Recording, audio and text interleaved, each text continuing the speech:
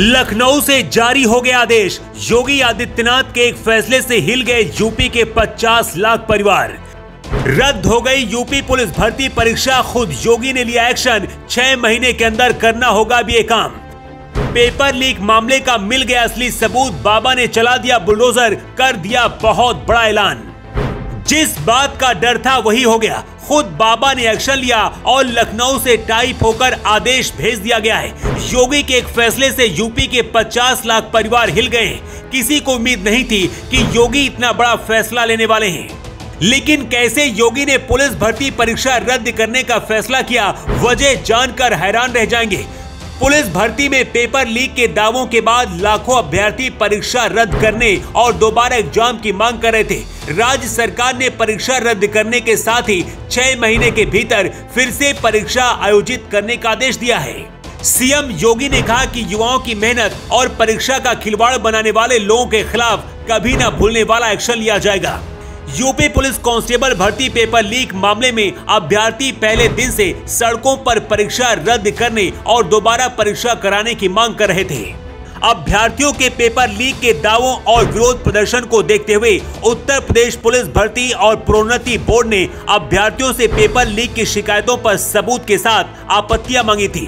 भर्ती बोर्ड ने शुक्रवार की शाम छह बजे तक अभ्यर्थियों की शिकायतों को लेकर सबूतों को साबित करने वाली आपत्तियाँ प्रत्यावेदन मांगे थे।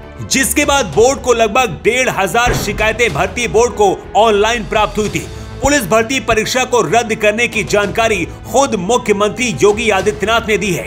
एक्स पर ट्वीट करते हुए सीएम योगी ने लिखा है, यूपी पुलिस के पदों पर चयन के लिए आयोजित परीक्षा 2023 को निरस्त कर दिया गया है।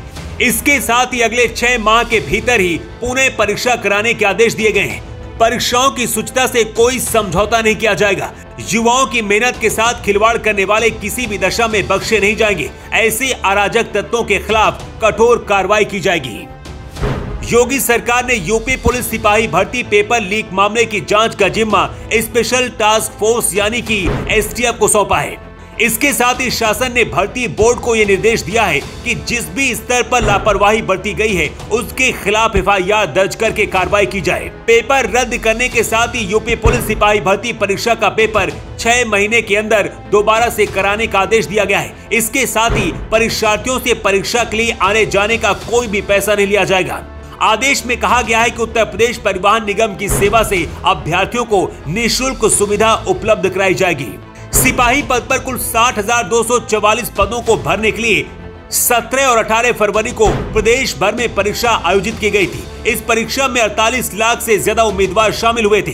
अभ्यर्थियों का कहना कि दो दिन की चार पाली में हुई इस भर्ती परीक्षा में 17 और 18 फरवरी की दूसरी शिफ्ट का पेपर लीक हुआ है। 18 फरवरी की शाम तीन से पाँच की पाली में हुए प्रश्न पत्र तमाम अभ्यर्थियों के पास और कोचिंग टीचर्स के पास पहले ही पहुँच गए थे। शाम होते होते सीएम योगी के पास भी रिपोर्ट पहुँच गई थी। जाँच शुरू हुई और योगी आदित्यनाथ ने अब पूरी परीक्षा को ही रद्द कर दिया है। अब ये परीक्षा छह महीने के भीतर फिर से कराई जाएगी। लेकिन सवाल ये है कि आखिर इतनी बड़ी धांधली कैसे रुकेगी?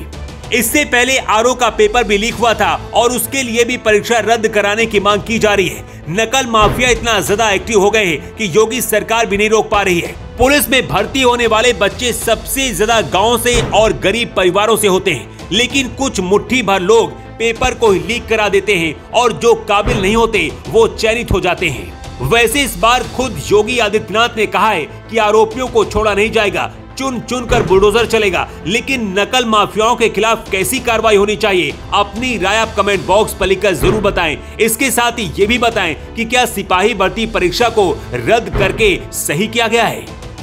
रिपोर्ट